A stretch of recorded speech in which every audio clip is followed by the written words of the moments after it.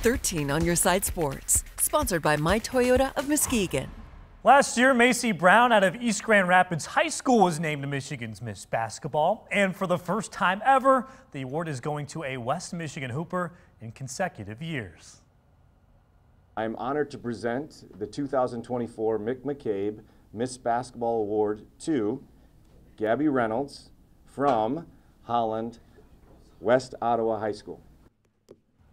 Gabby Reynolds is the first West Ottawa Panther to win Miss Basketball after putting up 29.4 points, 5.7 rebounds, 4 assists, and 2.7 steals per game. Before every season, Panthers head coach Paul Chapman gives his West Ottawa Panthers a piece of paper to write short-term and long-term goals on. Reynolds has been writing since her sophomore year that she wanted Miss Basketball. Now that she's won it, the George Washington signee is at a loss for words.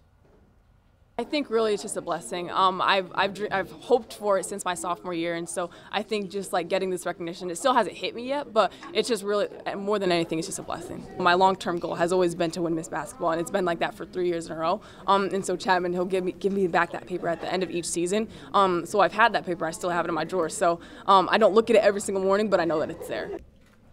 The Detroit Free Press says this is one of, if not the closest votes ever in the 43 years of Michigan's Miss Basketball. Reynolds edged out Byron Center's Lily Zeenstra by just 57 points.